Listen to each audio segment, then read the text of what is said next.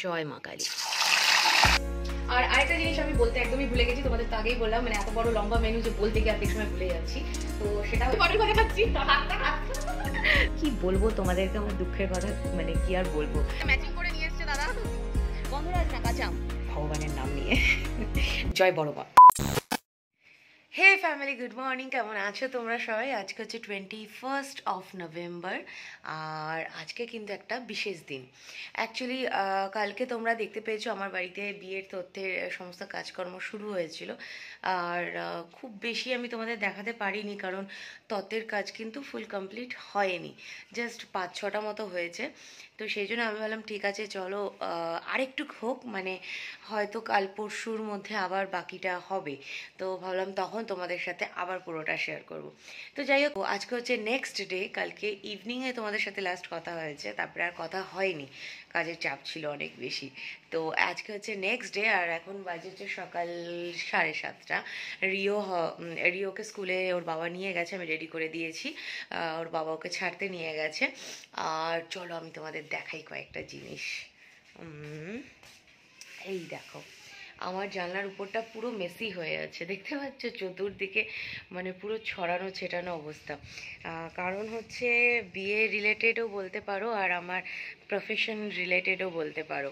তার আগে তোমাদের দেখাই যে বিয়ে কেন্দ্রিক যে ব্যাপারগুলো হয়েছিল মানে হচ্ছে এই যে থালাবাটি গ্লাসগুলো। আহ, এইগুলো তোমাদের বলেইছি বিতিশাকে এতে করে খাবার সার্ভ করব এটা আমার প্ল্যান আছে। তো উম, আহ, তোমাদের তো দেখিয়েছি আমার অলরেডি ডান হয়ে গেছিল বাট তোমাদের বলেছিলাম টেন পার্সেন্ট কাজ বাকি আছে। আর সেই কাজটা কি সেটা চলো তোমাদেরকে দেখাই। পলিশ কমপ্লিট এখন ড্রাই করতে রেখেছি। ড্রাই হয়ে গেলেই রেডি টু ইউজ হয়ে যাবে কি দারুণ লাগছে না দেখতে বলো? কি কি নিয়ে এসছো? মাংস মাছ এটার মধ্যে মাংস আছে এটার মধ্যে মাছ আছে এটার মধ্যে মাছ আছে। আচ্ছা এখানে পনির আছে। পনির, ফুলকপি পটল। তো আরও আনা হয়েছে কালকে। এই দেখো এখানে এতগুলো রয়েছে রাখা। মোটামুটি কালকেই ফিফটি পার্সেন্টের উপর বাজার করে রেখে দিয়েছিল। সবজি বাজার যেটা আহ, মশলা বাজার যেটা সেই সমস্ত কিছু করে রেখেছিল। আজকে শুধু মাছ আর মাংসটা আনার ছিল। তো ও সরি মিষ্টি। হ্যাঁ এইদিকে দেখো এখানে রয়েছে হচ্ছে এদিকে সব প্লাস্টিক করা যত দেখতে পাচ্ছ এগুলো সব মিষ্টি রয়েছে। তো এই এখন মিষ্টিগুলোকে সব ঢেলে রাখব। এই দেখো এটার মধ্যে আছে হচ্ছে গ্রিন ম্যাঙ্গো রসগোল্লা। এইটা আমি মিষ্টি খাই না, রসগোল্লা তো খাই না। তো বাট এইটা নাকি খেতে খুব সুন্দর। আর এটা হলো মধু ঘোষের। আমাদের এখানকার মধু ঘোষের মিষ্টি হচ্ছে ফেমাস তো সেখানকার এটা হচ্ছে গ্রিন ম্যাঙ্গো রসগোল্লা। হ্যাঁ গ্রিন ম্যাঙ্গো রসগোল্লা সরি আর এইখানে রয়েছে হচ্ছে ছোট ছোট ভাঁড়ে দই। এই দেখো। ছোট ছোট বেবি ভাঁড়ের মধ্যে দই।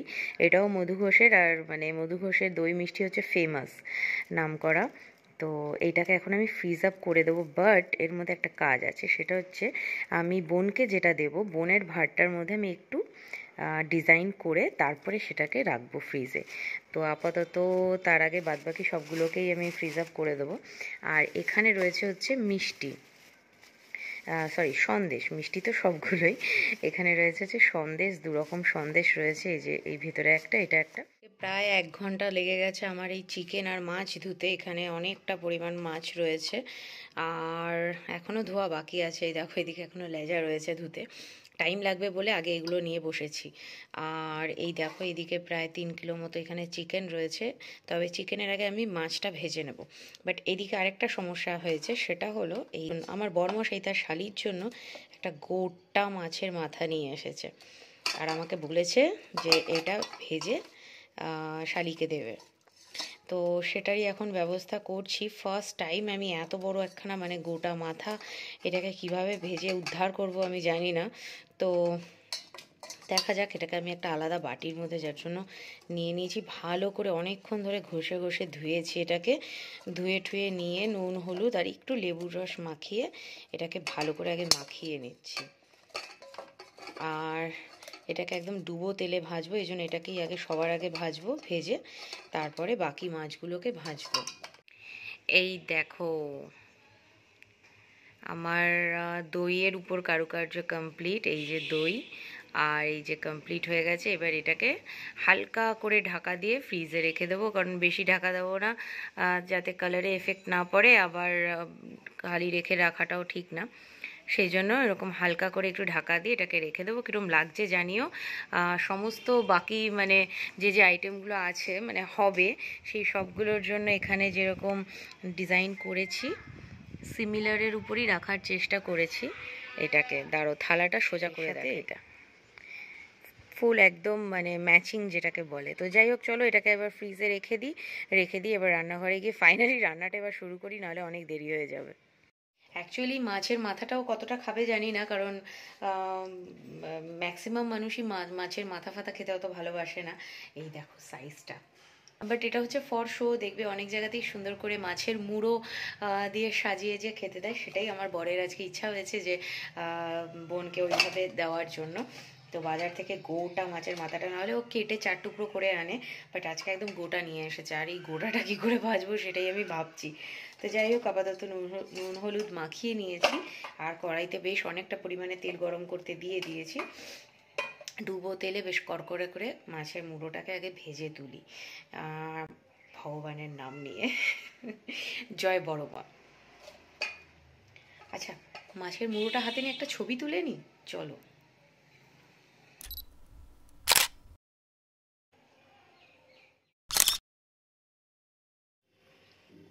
জয় মা কালী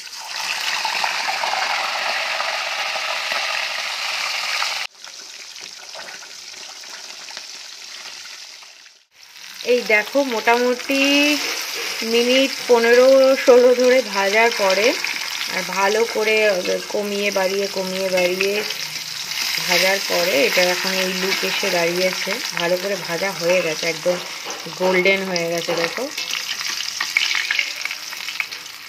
আছে আর ওইদিকে আমার ঘরে এত আওয়াজ শুরু হয়েছে কেন জানো? কারণ হচ্ছে আরেকজন স্কুল থেকে বাড়ি ফিরে গেছে আর তার এখন যেহেতু আজকে পরীক্ষা শেষ হয়ে গেছে সেই জন্য তিনি এখন বিন্দাস মুডে আছে তাই তো?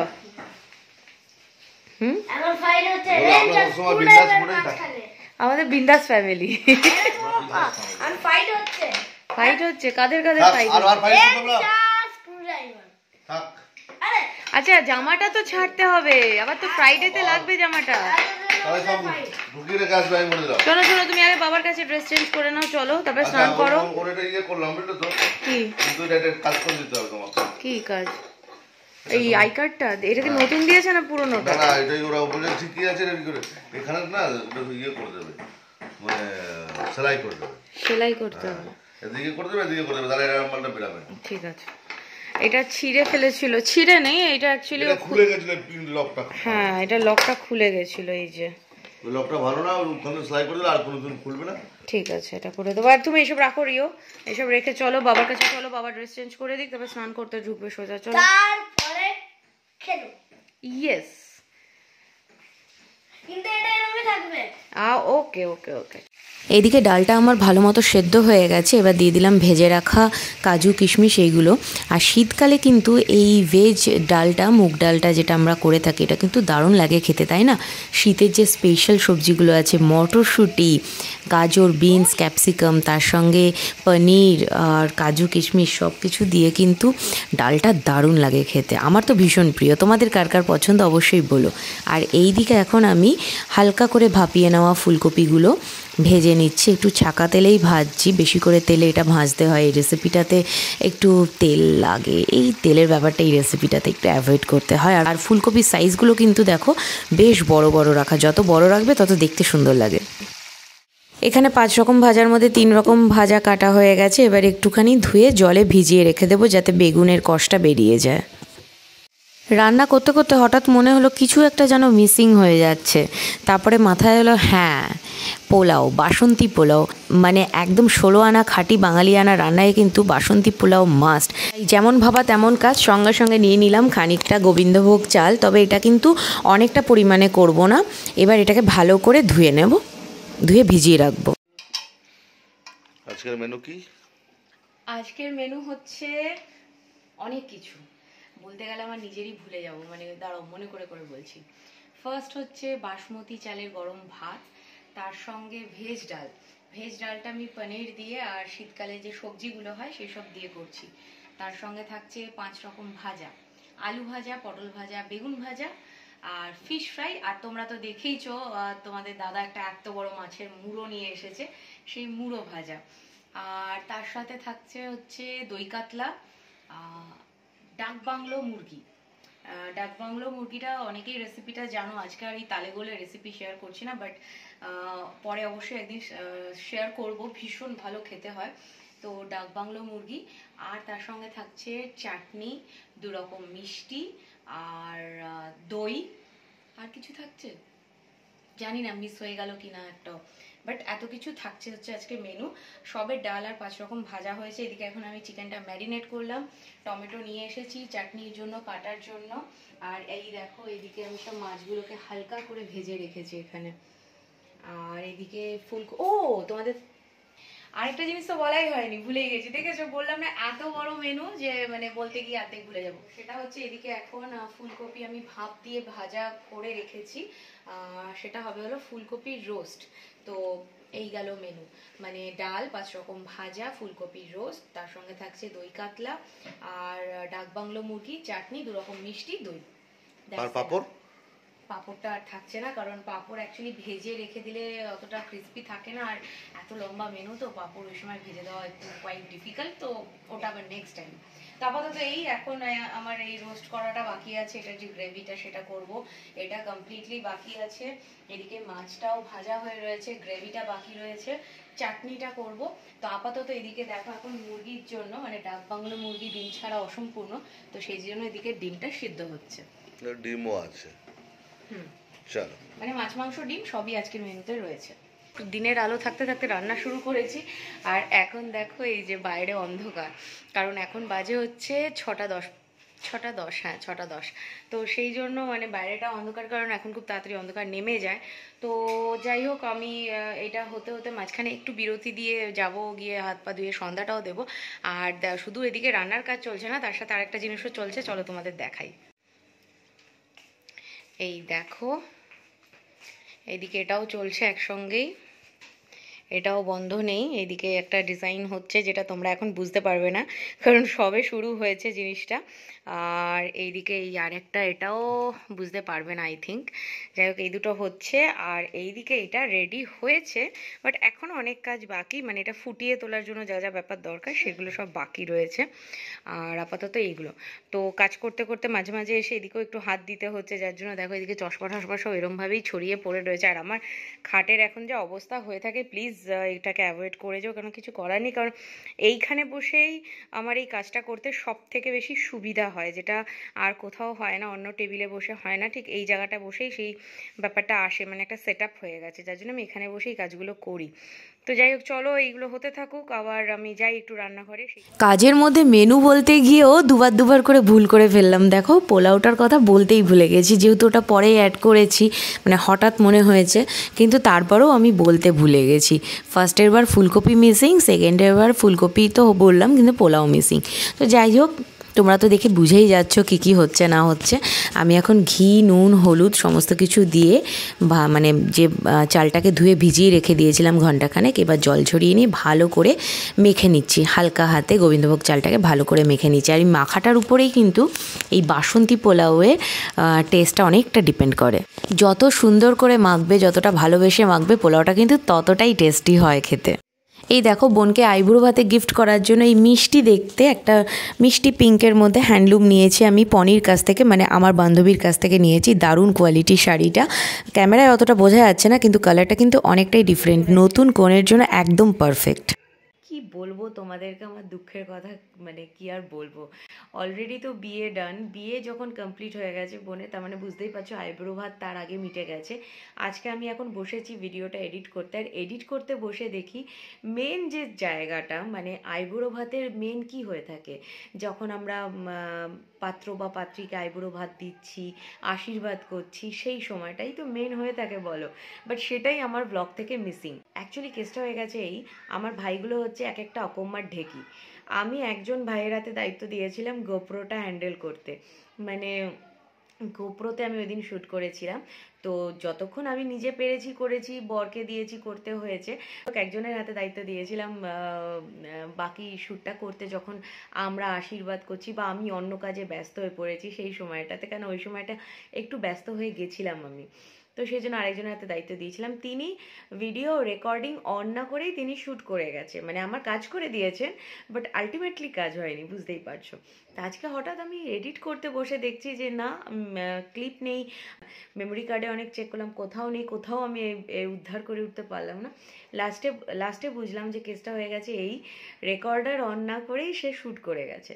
তো সেই জন্য সেই পার্টগুলো মিসিং আছে। এখন জাস্ট দেখতে পাচ্ছি বোনের খাওয়া দাওয়া হয়ে যাওয়ার পরে আমি একটা ছোট ক্লিপ নিয়েছিলাম, সেইটাই রয়েছে। খাওয়ার পরে যখন সে মিষ্টি খাচ্ছে বাট তার আগে আশীর্বাদ থেকে শুরু করে খাওয়া দাওয়ার যে সময়টা, সেটা পুরো গন কেস বাট ফটো আছে।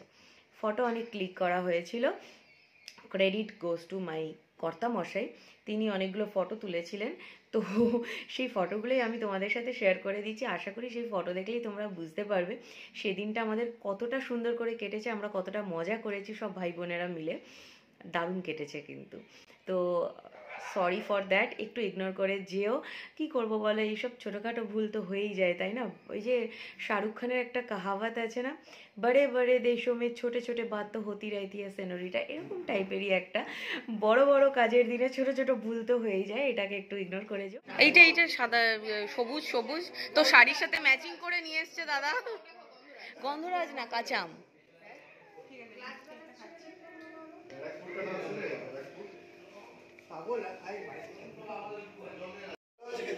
কোনটা গো? তো বিদিশার তো এদিকে খাওয়া কমপ্লিট সব খেতে পারিনি। আমি পটল ভাজা খাচ্ছি। তো যাই হোক বাট একটা ব্যাপার হয়েছে সেটা হচ্ছে আজকে বিদিশার আইবুড়ো ভাতে শুধু বিদিশা একা গিফট পাইনি পেয়েছি আমিও। এই দেখো এটা দিয়েছে হচ্ছে সুপ্রিয়। বার্থডে বার্থডে বলছি ভাই ফোটা স্পেশাল বাট কি আছে আমি এখনও জানি না পরে খুলে দেখব। তো আপাতত ওদেরকে এখন খাবার দিলাম ভীষণ আওয়াজ হচ্ছে পরে। আইবুড়ো ভাতটা তো দারুণ মজা করে কাটলো আর এরপরে বিয়েটা আরও মজা করে কাটবে। আজকের ব্লগটা এখানেই এন্ড করে দিচ্ছি। দেখা হবে কালকে। কালকে যাব হচ্ছে বিয়েবাড়ির জন্য স্পেশাল কিছু শপিং করতে নিজেদের। আর সেই সব শপিংয়ের ব্লগ নিয়েই তোমাদের সাথে কালকে আবার ফিরে আসছি। টিল দেন সবাই ভালো থেকো, সুস্থ থেকো। টাটা!